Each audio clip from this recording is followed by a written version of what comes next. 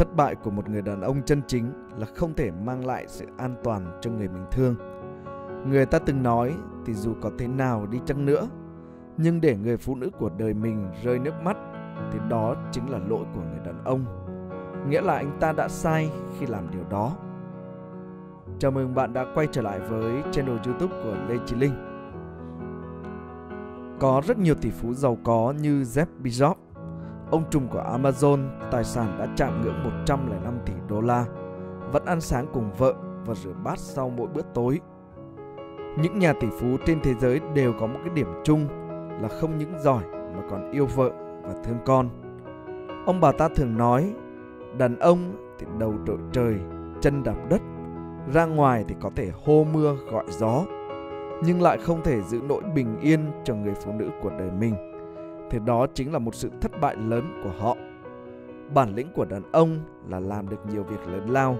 Thế nhưng ngay cả những cái việc nhỏ nhặt là yêu thương và khiến cho gia đình của mình luôn được an toàn vững chắc mà đàn ông cũng không làm nổi, thì đó không phải là một cái người đàn ông chân chính. Thế mới có cái câu, phụ nữ hơn nhau là ở chỗ biết lựa chọn, người để mà nương tựa cả đời. Nhiều người nghĩ đàn ông phải làm những cái chuyện to thát gánh vác trách nhiệm lớn lao xã hội mới được người khác tôn trọng. Nhưng không phải vậy, đàn ông muốn thành công, muốn người khác nể phục thì phải biết yêu thương người phụ nữ của mình bởi thế giới này thì một ngày nào đó sẽ quay lưng với bạn, chỉ có vợ là mãi kề bên, an ủi động viên những cái lúc khó khăn và bế tắc. Khi yêu thì đàn ông không cần phải hét to cho cả thế giới này biết rằng tình yêu của mình lớn đến đâu, mà chỉ cần yêu nhau trong cái lặng lẽ là được. Nếu tình yêu chưa đủ lớn thì khi mang ra chống chọi với những đợt gió mạnh, sớm muộn gì thì cũng bị dập tắt. Thế giới của người phụ nữ không rộng lớn như người đàn ông. Đó chỉ là người đàn ông của họ là gia đình nhỏ bé và cái công việc mà họ yêu thích để có được cho mình sự độc lập và tự chủ hơn. Điều mà phụ nữ cần ở một người đàn ông có trách nhiệm, có chí lớn để làm trụ cột gia đình, một con người mạnh mẽ để cùng họ vượt qua những cái rông bão của cuộc đời.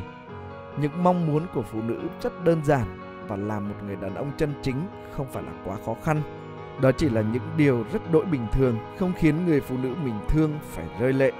Nếu ngay cả việc cái trân trọng và yêu thương người phụ nữ của đời mình cũng không thể làm được, thì đàn ông đừng có kể đến những cái chuyện lớn lao.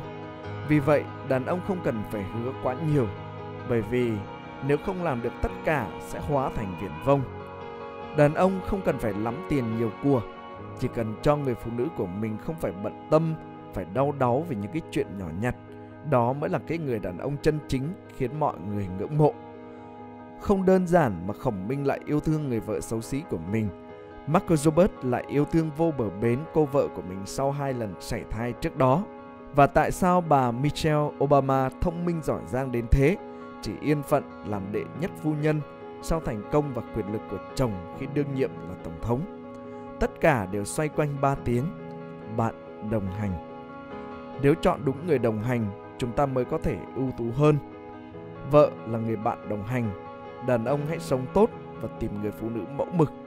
Nếu đã có rồi thì hãy biết trân trọng họ. Và cảm ơn tất cả anh chị em chúng ta đã theo dõi đoạn video clip trên kênh youtube của Lê Chí Linh. Và để chúng ta là người đầu tiên nhận được những video, chúng ta hãy bấm vào nút subscribe và hãy nhớ bấm vào nút chuông để chúng ta là người đầu tiên nhận được những video của Linh. Xin chào và hẹn gặp lại.